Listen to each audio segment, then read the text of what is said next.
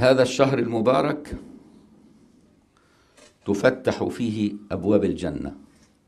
ومعنى تفتيح أبواب الجنة أنها مستعدة لتلقي عباد الله عز وجل. والجنة تؤول يؤال إليها بالطاعة وكأن تفتح لأبواب الجنة يعني أكثروا من الطاعة حتى تدخلوا من الأبواب المفتحة. وتصفد فيه الشياطين وتغلق فيه أبواب النيران. فلا معصية في رمضان إلا من النفس الشيطان بريء منها. لأن أسباب المعاصي إما النفس بشهواتها وإما الشيطان بتسويله.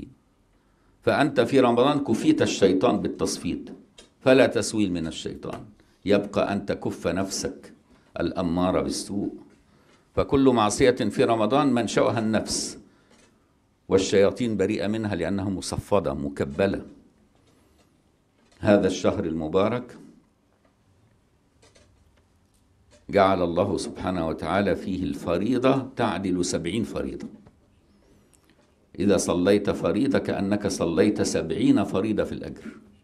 فما بالك لو صليتها جماعة؟ سبعين في سبعة وعشرين. وهل كمان التضعيف يكون بالسبعينات فالسبعة وعشرين في سبعين أخرى؟ فضل الله واسع. حتى تعلم الفضل الذي ينتظرك في هذا الشهر المبارك فتحسن استقباله بهمة عالية ونية كبيرة في الإقبال على الله فنية المرء خير من عمله فإنك إذا عزمت وأصابك أي خلل في أثناء الشهر من مرض أو عذر شغال فإن الله يكتب لك نيتك. هذا الشهر المبارك الذي جعل فيه الفريضة تعدل سبعين فريضة والنافلة تعدل فريضة. فإذا صليت النوافل كأنك صليت فرائض فيما سواه. فإياك أن تقصر في نوافل هذا الشهر ولا فرائضه هذا طول الشهر. فما بالك في ليلة القدر أيضا؟ فهذا الشهر من الشهور التي جعلها الله من أعظم الهدايا لأمة الحبيب. حتى أن بعض الصحابة مات صديقه أسلموا في يوم واحد وجاهدوا مع بعض في غزوات محددة وكانوا يتنافسون في الطاعة مثل بعضهم البعض. فمات أحدهم والآخر عاش بعده عدة سنوات. فرأى في الرؤيا أنه فوق مقام أخيه الذي سبقه بالموت. فسأل عن ذلك فقال فسأل في ذلك رسول الله صلى الله عليه وسلم فقال ألم يأتي عليك عدة رمضانات هو لم يأتيها ولم يحضرها؟ فأنت ارتقيت عليه بعدد الرمضانات التي جاءتك بعده. فإذا هذا الشهر للترقي فإذا بلغت هذا الشهر وأنت في كمال العافية فاحرص على أن تأخذ منه أسباب الترقي عند مولاك سبحانه وتعالى. وخيركم من طال عمره وحسن عمله. ففي رمضان الماضي كان معنا ناس الآن ليسوا معنا وأحباب ليسوا معنا الآن. في جميع الأعمار وكثر الموت ويكثر موت الفجاءة في جميع الأعمار كلما اقتربت الساعة. والمرض المرض ليس سببا للموت ولكن علامة لقرب الموت فقط لكن ليس سببا للموت. فكم من صحيح مات وكم من مريض عاش. وكم من صغير مات ومن وكم من شيخ فاني عاش وبالتالي لا تأمن الموت لصغر سنك أو لقوتك أو عافيتك أو بعد الأمراض عنك بل استعد فالموت أقرب إليك من شراك عليك فهذا رمضان أنت تعيش فيه. هل تستطيع أن تحلف وتقسم بالله أنك تعيش رمضان الذي يليه؟ لا تستطيع. فربما يكون هذا هو آخر رمضان لأحدنا. فعليك أن تتشبث به لعل الله سبحانه وتعالى يكون يجعله سببا للعتق من النيران. فاهتم بهذا الشهر المبارك هدية الرحمن للأمة المكرمة ببركة هذا النبي المكرم صلى الله عليه وسلم. لأن الله اطلع على أعمار الأمم كلها فوجد أن أعمار أمة النبي أقصرها. كانت الأمم السابقة يعيش 700 سنة و800 سنة و400 سنة واللي يموت عنده 300 سنة يبقى مات ناقص عمر زي ما بيقول الناس العوام. ما لحقش وإحنا عندنا أمة النبي اللي اللي يعدي المية يجيبوه في التلفزيون يعتبروه يعني حاجة من النوادر. فأمة النبي أغلب أعمارها بين الستين والسبعين أغلب أعمارها. فأين نحن مع الأمم السابقة الذين عبدوا الله مئات السنين؟ ونحن لا نعبد الله إلا ستين سنة أو سبعين سنة. فجبر خاطرنا بليلة خير من ألف شهر. فكلما مر عليك رمضان كلما ارتقيت سنوات عديدة فوق عمرك حتى تأتي أمة النبي في وسط الأمم كالقمر في السماء. تشير إليها كل الأمم.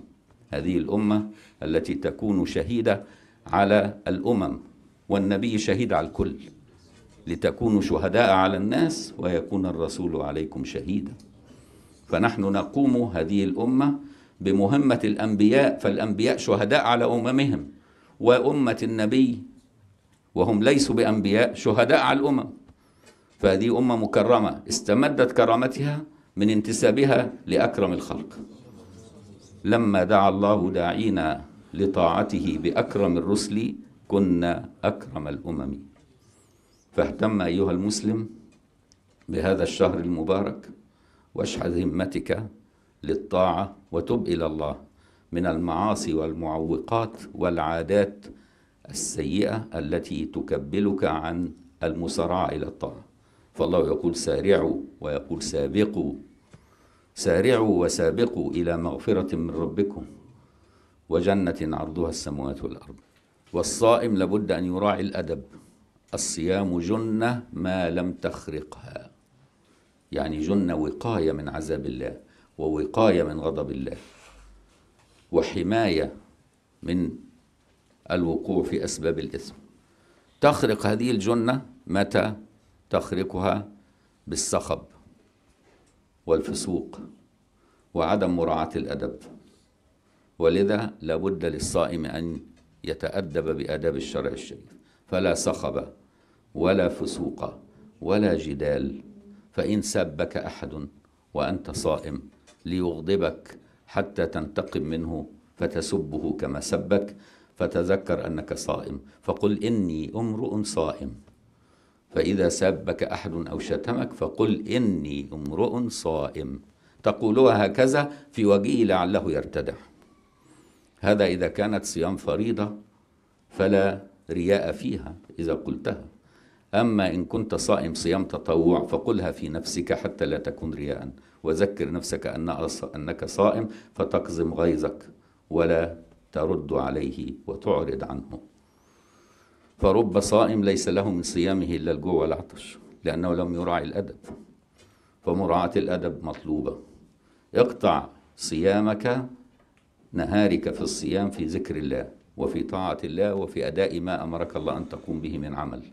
فكل له مهنة أو عمل أقامه الله فيه عليه أن يتقنها في شهر رمضان لأن الإتقان عبادة ولا يتعلل بأنه صائم فيقصر في عمله. إياك. معظم الحروب العظيمة التي كانت سببا في تغيير مسار الإسلام كانت في رمضان والناس صائمون.